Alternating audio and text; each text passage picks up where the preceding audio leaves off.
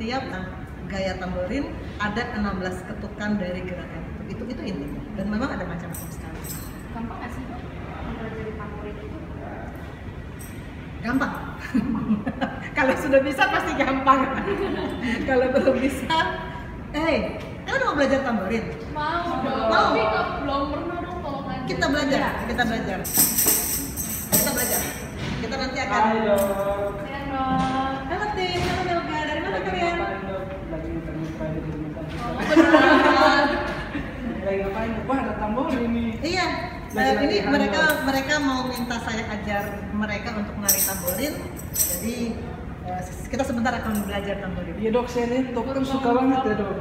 Main tamborin, sering banget main Ya. di gereja, Ya, main betul. tamborin. Ya, saya, saya, saya? Puji-pujian di gereja, saya sambil menari, sambil menyanyi itu saya suka. Saya nikmati itu. Kamu tahu kenapa? Tuhan juga menikmati itu. Tuhan menikmati, saya yakin Tuhan menikmati puji-pujian dan tarian saya. Kamu tahu kenapa? Mazmur 150 ayat 4. Coba baca.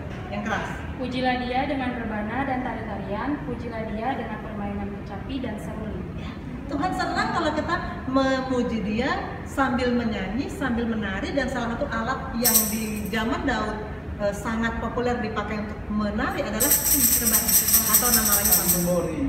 Jadi kita latihan ya. Oke. Oke.